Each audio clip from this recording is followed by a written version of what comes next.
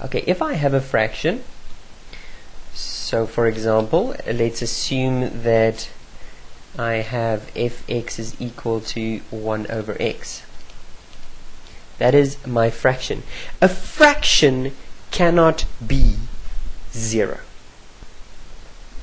And I mean, it cannot be 0 if the numerator is not 0. It doesn't matter what denominator I use, it can never be zero.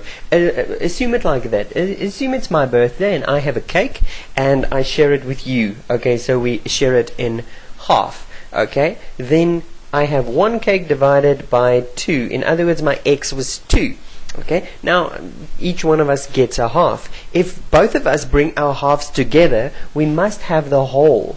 Okay, now, what's going to happen if we have more friends? Let's say I, I invited you and two other friends, so we're four people. I divided in four. Now, each one of us are, are going to get a smaller piece than if it's just two. So when I divide with four, I'm going to get a smaller piece. Okay, each piece is now smaller. But when all four of us bring our pieces back together, I still have the whole. Now let's go further. Let's say I invited more friends, four more friends actually, and now I'm dividing it into eight pieces. Now as you can see, the eighth piece or the eight pieces are now each one smaller because I, I, had one cake and I divided. And so it happens that let's say I invited every person in the world to my party.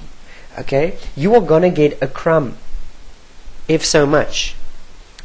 If I divide that whole cake with every person in the world, it you might get probably nothing. You might not be able to see it, but it is not nothing. It's not zero because when everyone brings what they got together again, I must have my whole cake. And if everyone got nothing, nothing times 7 billion is still nothing. So, in other words, you won't get nothing. You will never have a fraction equal to zero unless what I divided can be equal to zero. I didn't divide nothing, I divided a cake. So in that case, a fraction, no matter what the denominator is, it can even be a negative number, it doesn't matter, that fraction can never be zero. Let me do it like this. We know that a fraction, and what's the fraction? The fraction is 1 over x. 1 over x cannot be zero. It's impossible. No matter what I use for x, I can never get 0. x may not be 0 and 1 over x cannot be equal to 0. If that's the case, then I know that this is my y value. That's how I get y. By using this, this formula, I get y. So y will never be able to be equal to 0. So I can write this. Let's write it in um, set notation. So y can be an element of any real number. So y is an element of any real number given that y is not equal to 0. Okay, well let's uh, let's look at another example, a different example this time. f(x) is equal to uh, let's say 2 over x minus 1. Yeah, just like that. Okay, that is my function. Now remember what we said that the fraction cannot be equal to 0. Let's make that a negative. Okay. A fraction cannot be equal to 0. Now this is the fraction. In other words, I know the fraction. That is the fraction. May not equal 0. But that is the fraction I use to get y. In other words, y may not be equal to zero. So it's exactly the same as the one we we just did right there. It's exactly the same as that. So I'm not going to waste more time writing it differently. If I had fx is equal to negative 3 over x plus 7 minus 2. Oh, x plus, no, it doesn't matter. Okay, there's an, another example. Okay, remember what we said.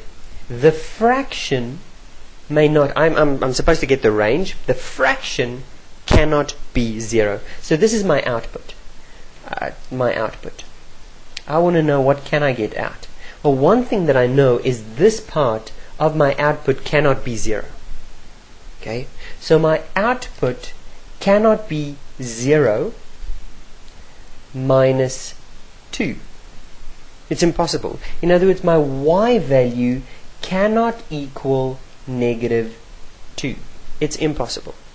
Why? Because this part of my output, the fraction part, cannot be 0. So my answer can never be 0 minus 2. Never, because that, that 0 can never exist. It will always be something minus 2. And therefore my output can never be 0 minus 2 or just negative 2. Another way I could have done it is I could have just said, okay, well, I know that negative 3 over x plus 3. That cannot equal 0. But that is not my function. My function is negative 3 over x plus 3 minus 2. Okay, that's my function. And that cannot be equal to, now look what I did. I subtracted a 2 on the left side to get that. So I must subtract a 2 on the right side as well. So this cannot be. Okay, and this part is my y value, my output value. y cannot be equal to negative 2. Let's write that in bracket notation. So I can say, well, y is an element of, so in bracket notation we have negative 2 here. Okay, it cannot be equal to negative 2. It can be smaller and it can be larger. So I can go from negative infinity all the way to negative 2, but I'm not allowed to equal negative 2. I have to unite that with the top part. So I unite it, that's the unite sign, with the numbers from negative 2 upwards. In other words, not equal to, in other words, I don't use block letters, negative 2 all the way to positive infinity. That's another way of writing the range.